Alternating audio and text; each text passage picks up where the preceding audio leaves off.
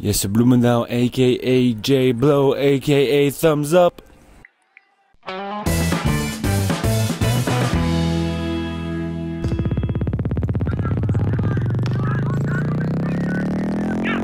I like his ability of getting open in high stall situations.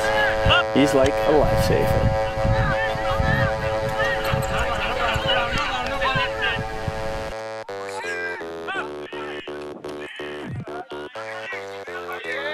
Salt is like a rock in the sea. Like the, sea just comes bashing in, bashing in, but Salt stays there. Last year at Euros, he got injured after a play against Sweden on the last point, and he's still recovering. But despite the fact that this injury is really holding him back, he goes to the gym three, four times a week just to get back and get back on the highest level, um, and that deserves a lot of respect.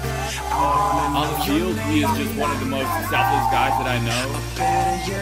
He doesn't get this very often, but that means that he's making a cut so that somebody else has space to run in and can actually get that in. So, uh, always a bailout, um, playing for years, just a great guy.